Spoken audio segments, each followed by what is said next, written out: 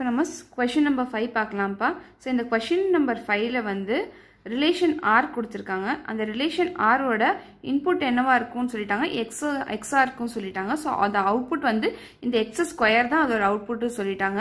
அதே மாதிரி இந்த எக்ஸ் என்ன சொல்லிட்டாங்க? Prime number less than thirteen so input என்னன்னு சொல்லிட்டாங்க. லெஸ் தேன் தேர்ட்டீன் என்னென்ன ப்ரைம் நம்பர்ஸ் இருக்கோ அது எல்லாமே இன்புட்டுன்னு சொல்லிட்டாங்க. புரிஞ்சுதாப்பா? ஸோ ரிலேஷனில் வந்து இன்புட் என்ன சொல்லிட்டாங்க? எக்ஸு அவுட்புட் வந்து எக்ஸ் ஸ்கொயர்னு சொல்லிட்டாங்க. ஸோ இன்புட் வந்து என்ன சொல்லிட்டாங்க? Less prime number less than தேர்ட்டின்னு சொல்லிட்டாங்க. இப்போ அதோட ரேஞ்சை கண்டுபிடிக்க சொல்லியிருக்காங்க. Prime number less than thirteen தான் இன்புட் சொல்லிட்டாங்க. ஸோ லெஸ் தேன் தேர்ட்டின் என்னென்ன ப்ரைம் நம்பர் இருக்குது two three five seven eleven அப்படின்னு நமக்கு வந்து எத்தனை ப்ரைம் நம்பர் இருக்குது ஃபைவ் ப்ரைம் நம்பர்ஸ் இருக்குது ஸோ இதோட அவுட்புட் என்ன சொல்லிட்டாங்க? இதோட அவுட்புட் வந்து இந்த இந்த நம்பரோட ஸ்கொயர் தான் அப்படின்னு சொல்லி சொல்லிட்டாங்க. ஸோ இப்போ என்ன வரும்? டூவோட அவுட்புட் என்னவா இருக்கும்? ஃபோர் த்ரீயோட அவுட்புட் என்னவா இருக்கும்? நைன் ஃபைவோட அவுட்புட் என்னவா இருக்கும்? டுவெண்ட்டி ஃபைவ் செவனோட அவுட்புட் என்னவா இருக்கும்? ஃபார்ட்டி நைன் லெவனோட அவுட்புட் என்னவா இருக்கும்? ஒன் டுவெண்ட்டி நைன் ஸோ இதுதான் வந்து அவுட்புட்டுக்குரிய செட்டாக இருக்கும். தட் மீன் எக்ஸ்கொயர் எக்ஸ்கொயராக இருக்கும். சரியா? ஸோ இங்கே இருக்க எப்போவுமே நம்ம என்ன பார்த்துருக்கோம்? இந்த சைடு வந்து டொமைன் பார்த்துருப்போம். இந்த சைடு வந்து கோடொமைன் அப்படி சொல்லி நம்ம பார்த்துருப்போம். ஸோ இப்போ நம்ம சிக்ஸ்த்து ப்ராப்ளம் பார்க்கலாம்ப்பா. இந்த சிக்ஸ்த்து ப்ராப்ளமில் என்ன சொல்லிட்டாங்கன்னா ரெண்டு ஆர்டர் பேர் கொடுத்துருக்காங்க. A plus two comma four five comma two A plus பின்னு ரெண்டு ஆர்டர் பேர் கொடுத்துட்டாங்க. இந்த ரெண்டு ஆர்டர் பேரும் ஈக்குவல்னு சொல்லிட்டாங்க. சரியா? ஈக்குவல் சொல்லிட்டாங்க. இப்போ வந்து ஏயும் பியும் கண்டுபிடிங்க அப்படி சொல்லி சொல்லியிருக்காங்க. இந்த ரெண்டு ஆர்டர் பேடும் ஈக்குவல் அப்படின்னா இதோட எலமெண்ட்ஸும் நம்ம ஈக்குவேட் பண்ணலாம். ஸோ இங்கே எப்படி எழுதலாம்னா இங்கே வந்து A plus two is equal to five A plus டூவும் ஃபைவும் ஈக்குவலாக இருக்கும்னு சொல்லிட்டாங்க. அதே மாதிரி two A plus B is equal to ஃபோரும் ஈக்குவலாக இருக்கும் சொல்லிட்டாங்க. ஏன்னா இந்த செட் ஆஃப் ஆர்டர் பேர்ஸ் வந்து ரெண்டுமே ஈக்குவல் சொல்லிட்டாங்க. அப்போ A plus two is equal to ஃபைவ்னு எழுதலாம். டூ ஏ ப்ளஸ் பி வந்து ஃபோர்னு எழுதலாம். ஸோ இதை நம்ம ஃபஸ்ட்டு ஈக்குவேஷன் ஒன் ஈக்குவேஷன் டூன்னு கன்சிடர் பண்ணிப்போம். சரியாப்பா?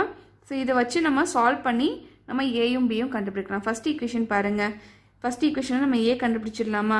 A plus two is equal to five so A நம்ம என்ன எழுதலாம்? ஃபைவ் இந்த பக்கம் டூ கொண்டு போனால் மைனஸ் டூ ஆயிரும். ஸோ ஏவோட வேல்யூ என்னது? த்ரீ ஸோ இந்த ஏவோட வேல்யூ இந்த செகண்ட் ஈக்குவேஷனில் சப்ஸ்டியூட் பண்ணால் நமக்கு என்ன கிடைக்கும்? Two into three plus B is equal to four கிடைக்கும் சரியா? ஸோ டூ இன்டூ த்ரீ என்னது? Six six plus B is equal to four so B என்ன வரும்? ஃபோர் மைனஸ் சிக்ஸ் ஸோ பியோட ஆன்சர் என்னப்பா? B is equal to minus two so A வந்து three B வந்து minus two so நம்ம answer என்னவாக இருக்கும்? த்ரீ கமா மைனஸ் டூ இங்கே த்ரீ கமா மைனஸ் டூ எங்கே இருக்குது ஃபோரில் இருக்குது ஸோ இதுதான் ஆன்சர் புரிஞ்சுதாப்பா? இப்போ நம்ம செவன்த் ப்ராப்ளம் பார்க்கலாம்ப்பா. ஸோ இந்த செவன்த் ப்ராப்ளமில் என்ன கொடுத்துட்டாங்கன்னா என் ஆஃப் ஏ வந்து எம்என்னு சொல்லிட்டாங்க. என் ஆஃப் பி வந்து என்னன்னு கே சொல்லிட்டாங்க. இப்போ இந்த ரெண்டு செட்டுக்கும் இடையில எத்தனை number of non empty relations இருக்கும்? அப்படி சொல்லி கேட்டிருக்காங்கப்பா. நம்ம ஏற்கனவே இந்த ப்ராப்பர்ட்டியாக நம்ம படிச்சிருப்போம். That is N of A cross B ஏதாவது ரெண்டு செட்டுக்கு இடையில வந்து எத்தனை number of non empty relations இருக்குன்னு கண்டுபிடிக்கிறதுக்கு ஒரு ஃபார்முலா இருக்குது that is two power MN நம்ம படிச்சிருப்போம் ப்ராப்பர்ட்டியில் ஸோ இதுக்குரிய ஆன்சர் என்னது? டூ பவர் எம்என் தான். ஸோ இங்கே எம்ன்றது number of elements of set A என்னன்றது number of elements of set B so இந்த ப்ராப்பர்ட்டி யூஸ் பண்ணி நம்ம வந்து ரெண்டு செட்டுக்கும் இடையில எத்தனை number of non empty relations இருக்குன்னு கண்டுபிடிச்சிடலாம். ஸோ இங்கே ஆன்சர் வந்து ஃபோர் டூ பவர் எம்என் புரிஞ்சுதா?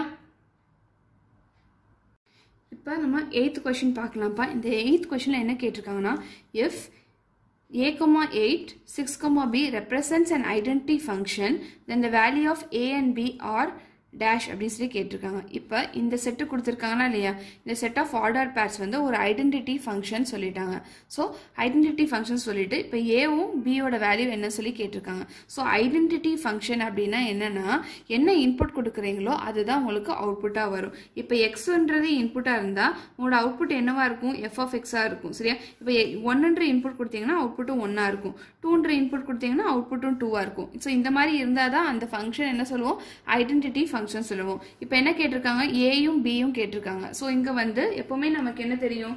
ஒரு செட் ஆஃப் ஆர்டர் பேர்ஸில் ஒரு ஆர்டர் பேரில் இது இன்புட் இது அவுட்புட்னு தெரியும். இது எக்ஸ் இது எஃப் ஆஃப் எக்ஸ்ன்னு நமக்கு தெரியும். ஸோ இப்போ இங்கே வந்து இங்கே என்ன இன்புட் கொடுக்குறோமோ அதுதான் அவுட்புட்டாக வரும். புரிஞ்சுதாப்பா ஸோ இங்கேயும் இது இன்புட் இது அவுட்புட் ஸோ இப்போ இங்கே ஆன்சர் என்னவா இருக்கும்? ஏவோட ஆன்சர் என்னவா இருக்கும்? இங்கே வந்து அவுட்புட் வந்து எயிட்டுன்னு சொல்லிட்டாங்க. அப்போ இன்புட் என்னவா இருக்கும்? எயிட் இன்புட்டும் எயிட்டாக தான் இருந்திருக்கும். ஸோ ஏவோட ஆன்சர் வந்து எயிட்டு ஸோ இங்கே பாருங்கள் இது வந்து இது இங்கே வந்து இது இன்புட்டு இது அவுட்புட்டு இந்த பி வந்து அவுட்புட்டு சரியா? ஸோ இப்போ வந்து இன்புட்டு சிக்ஸாக இருந்துச்சுன்னா அவுட்புட் என்னவா இருக்கும்? அதுவும் சிக்ஸாக இருக்கும். ஸோ பியோட ஆன்சர் என்னவா இருக்கும்? அதுவும் சிக்ஸாக தான் இருக்கும். ஸோ ஏ பி தான் கேட்டிருக்காங்க. Find the value of AB கேட்டிருக்காங்க. ஸோ இப்போ ஆன்சர் என்ன வரும்? எயிட் கமா சிக்ஸ் வரும். சரியா? இங்கே எயிட் கமா சிக்ஸ் இங்கே இருக்குது ஃபர்ஸ்ட் ஒன் ஸோ இதுதான் ஆன்சர் புரிஞ்சுதாப்பா?